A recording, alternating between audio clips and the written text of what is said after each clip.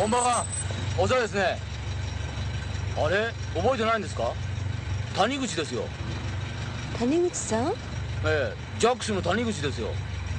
ほらあなたいつかうちの店に来てこのワーゲンに乗りたいって。あああの中古屋さんの。中古屋はひどいな。ユーストカーっつうんですよ。あの私急ぎますから。乗ってください。送りますよ。あのもうすぐそばなんです。おやすみなさい。あそうですか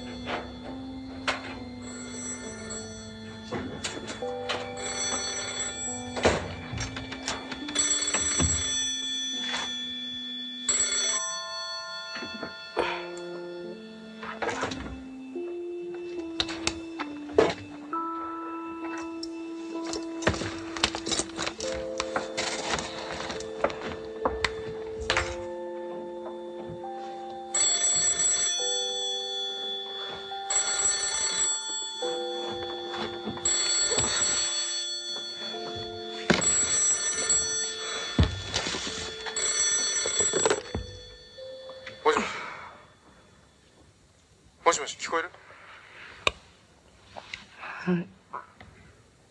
もしもし。どうしたのその声？ねえ。もしもし美智子だろ？はい。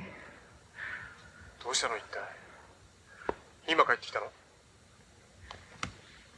そうです。おかしいな。何が？こんな遅くまで何してたんだよ。とっくに帰ってるはずじゃないか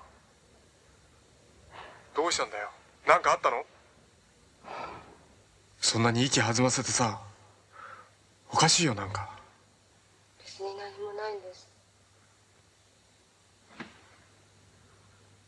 何かあったんだろ？そうだろ？切るわよ。行くよ今からそっちへ。やめてよもう。